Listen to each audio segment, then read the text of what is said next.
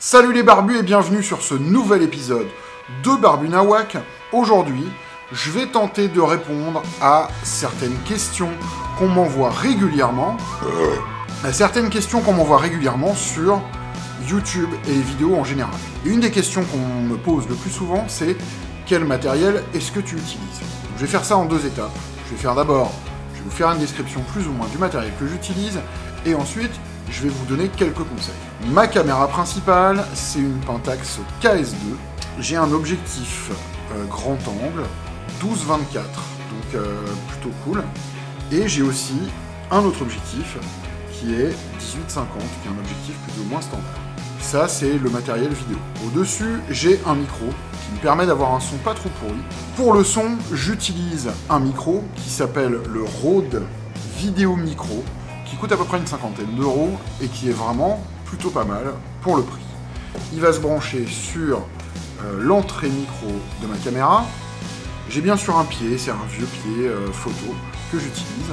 Et en tout cas pour la vidéo principale, c'est à peu près tout. Vous le voyez pas ici, mais j'ai de la lumière, j'ai deux lumières qui sont un espèce de kit Shintok à 100 balles que j'ai acheté. Euh, je les ai lestés avec des sacs de sable. Et là c'est mon setup, à peu près. Euh, de vlog entre guillemets. C'est complété par, pour la voix off, un micro qui est un Rode NTG2, un super bon micro, et avec un préampli enregistreur numérique qui est un Tascam. Je me souviens plus trop comment il s'appelle, mais je vous mettrai un lien dans la description évidemment. Je les ai installés sur un pied pour micro que j'ai fixé sur ma table et aussi un bras magique pour pouvoir mettre mon préampli.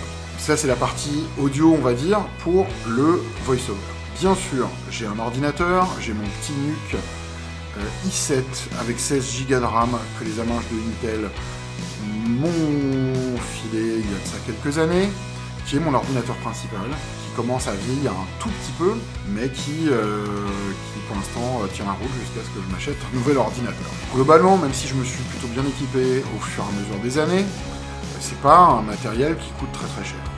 Il doit y avoir à peu près pour 1000 balles de caméra, allez, 300-400 balles de son, 100 balles d'éclairage, allez, en tout et pour tout, peut-être 2000 balles qui ont été dépensées sur les 3-4 dernières années. La question principale, c'est, si vous démarrez sur YouTube, quel est le matériel idéal? Et ma réponse à cette question, elle est plutôt directe. Il n'y a pas de matériel idéal.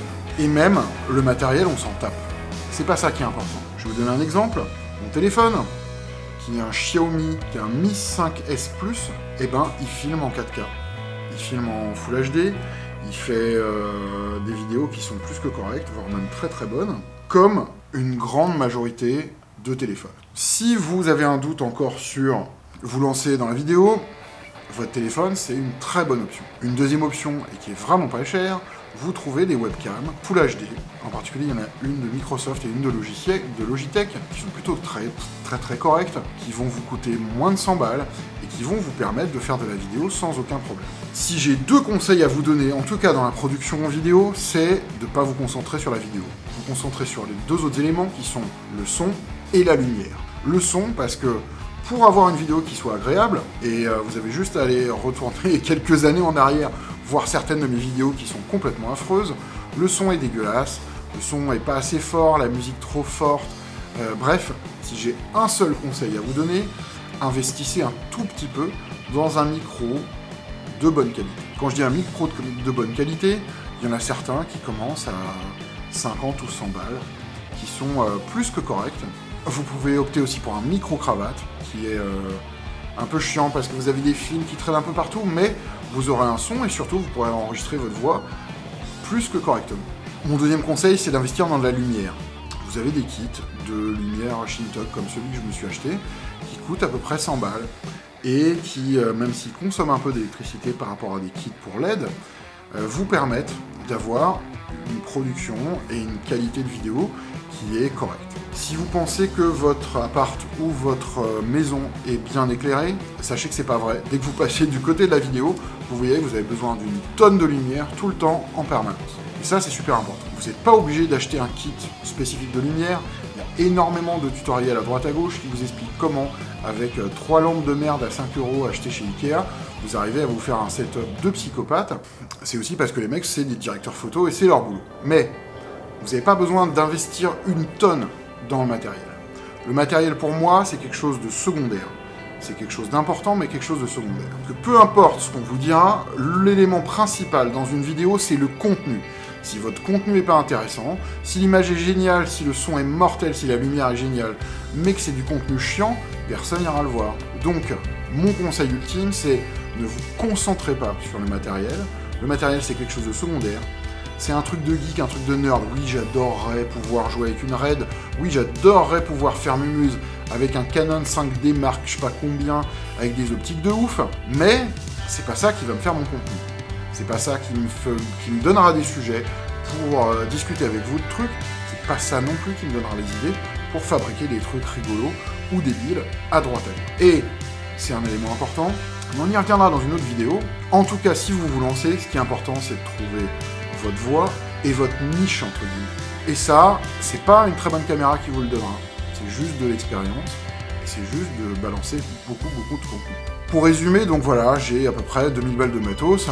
Euh, qui me servent à produire euh, ces épisodes à droite à gauche, du matériel que j'ai acquis au fur et à mesure, bien sûr. J'ai d'abord commencé par la caméra, et ensuite euh, je me suis acheté une optique, et ensuite j'ai acheté le matos pour le son, etc. etc. Donc ça c'est du matériel que vous pourrez acquérir au fur et à mesure. Mais ce qui a vraiment pas de prix, c'est les X années et les 200 épisodes où j'ai filmé, monté, où j'ai compris ou modifié ma façon de filmer au fur et à mesure, et aujourd'hui où j'ai trouvé mon espèce de voix entre guillemets. Ça malheureusement, il n'y a que l'expérience et il n'y a que de foirer littéralement des dizaines d'épisodes qui vous permettront d'avoir ça. Donc mon conseil c'est de vous concentrer surtout pas sur vous, sur un matériel, acheter un micro correct, mettez un peu de lumière, empruntez le téléphone à maman, euh, achetez une webcam à 100 balles, pif paf pouf, allez hop, on y va.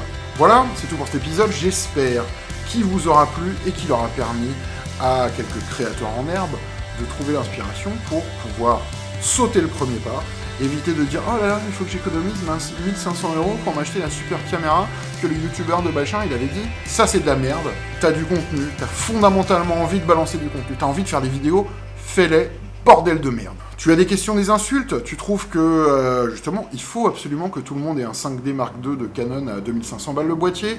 Tu sais comment faire, bien sûr, hein? Tu as tous les moyens de me contacter qui sont dans la description. Bien sûr, tu laisses un commentaire et tu t'abonnes. Si tu as trouvé cette vidéo intéressante et que tu as un tout petit peu de temps, tu peux aller cliquer sur le lien Utip dans la description pour aller regarder une, petite pub, ce qui nous permettra de gagner un tout petit peu de pognon. Voilà, c'est tout pour cette vidéo euh, spéciale euh, se lancer sur YouTube slash matériel. J'espère qu'elle vous aura plu. En attendant le prochain, faites des trucs, inspirez-vous et que la barbitude soit avec vous.